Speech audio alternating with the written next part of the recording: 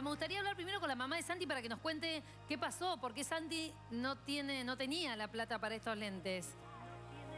Ok, ahí te paso. Dale.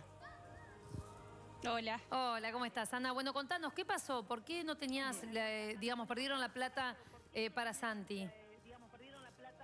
Eh, porque el miércoles en la mañana fuimos al médico con los nenes que estaban enfermos. Eh, cuando volvimos, no habrá pasado ni una hora del, del- de, que volvi- de que fuimos al médico, eh, nos encontramos que, que habían entrado a robar a la casa y entre las cosas que habían llevado estaba la plata de los lentes. Me imagino cuando Así viste que, que- faltaba, digamos, que faltaba todo, pero especialmente algo tan importante como son unos anteojos para tu hijo, ¿no? Sí, sí, en realidad es una impotencia tan grande porque tanto trabajo, tanto ahorrar para poder comprarlos no es barato. Eh, ah, para nosotros es mucha plata. ¿Cuánto, te- ¿Cuánto habías juntado Que la ya? lleven así. Tres mil pesos. Tres mil pesos. Eh, Sí, eso es lo que nos salían los lentes. Y a partir de ahí, Ana, ¿qué hiciste? ¿Le contaste a los profes? ¿Cómo se enteran los profes? Eh, sí, en realidad les mandé un mensaje avisando al grupo del- de la escuelita, eh, porque entre esas cosas también estaban celulares, una tablet, eh, preguntando, ¿viste? Si, si alguien había visto algo, si alguien veía que estaban vendiéndolos, que nos avisaran. Claro. Eh, bueno, y ahí salió, me- al ratito me mandaron que querían colaborarnos con algo y que le iban a dar una sorpresita, pero yo la verdad no tenía idea de lo que iban a hacer. bueno, a ver, pasame con Carlos o con Jeremías, con, con quien quiera contarnos, digamos, cómo a partir de que se enteraron de esta noticia, cómo empezó rápidamente a acomodarse ese grupo. Claro, sí. eh, cuando nos dijo eso, inmediatamente nos dimos cuenta que lo que necesitaba era recuperar el dinero para tener los lentes, ¿no es cierto?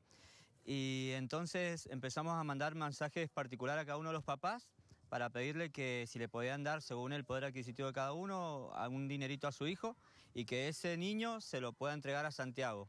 Así que, bueno, ese día jugábamos justamente el campeonato y, bueno, Santiago no jugó porque estaba enfermo, pero le pedimos que viniera igual, así que cuando estábamos eh, entre partido y partido, ahí hicimos un break y, bueno, cada chico le dio lo que había traído de la casa, eh, no sabemos cuánto, también de la escuela de fútbol le donamos lo que se había recaudado en el mes de la cuota social y, bueno, y la verdad no sé cuánto se juntó, no lo contamos, pero ahí en esa mochila donde también le regalamos los profes, se volcó todo el dinero.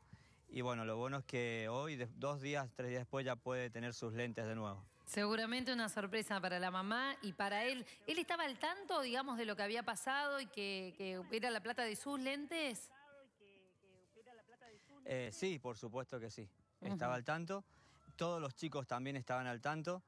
Eh, ese día fue muy lindo porque habíamos perdido el partido por un gol y la bronca era grande porque por un gol habíamos perdido nada más. Y bueno, pero eh, ese gesto de generosidad se puede ver en el video cómo nos alegró a todos, en realidad nos cambió la, la noche y lo disfrutamos bastante ayudar. Y bueno, así que es el perfil que tenemos como escuela de fútbol también, ¿no? Entendemos que es más que correr una pelota, detrás de una pelota, perdón, sino que también eh, estar eh, ante la necesidad del compañero y no hacernos ajenos a, a lo que está sucediendo a nuestro alrededor.